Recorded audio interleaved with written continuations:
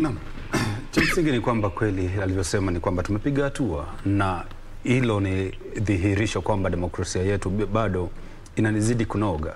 Maanake ukitulinganisha na majirani wetu ni kama hatuna hatuna ushindani na majirani wetu bana Balo. manake unapoangalia vile wana Uganda, Tanzania, nchi ya Burundi, Rwanda na nchi ya Sudan wanavyoendeleza shughuli zao za uchaguzi, utapata kwamba kidogo hawajafikia ile level ambayo tumeshafikia sisi kama taifa.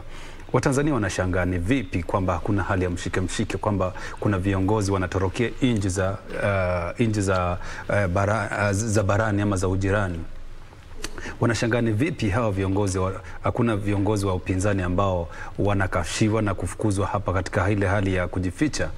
Wanashangaa ni vipi kwamba tunafanya tunaendeleza shughuli za uchaguzi tukiwa na internet bila kuzimwa. Wanashangaa ni vipi stima haipotei wakati kura zinahesabiwa.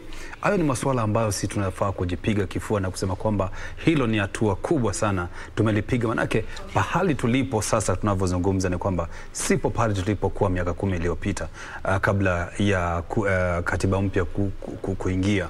Kwa hivyo sisi tuseme kwamba tumekuwa kielelezo kizuri katika bara la Afrika na pia uh, kule ughaibuni. Manake Kenya inatazamiwa kama nchi ambayo demokrasia yao kidogo imepiga, hatua imekomaa zaidi. Awali hapo kidogo Ghana na nchi ya Nigeria na, na Afrika Kusini.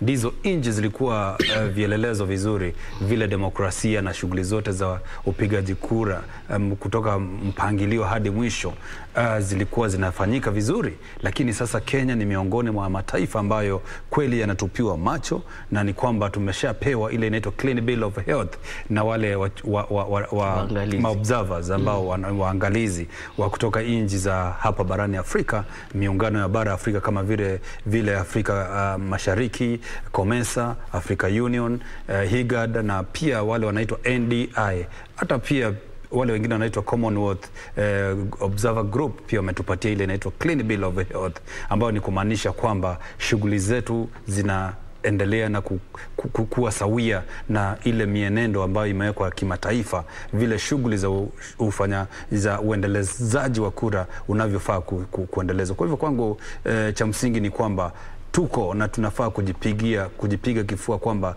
Kenya tunasonga mbele. No.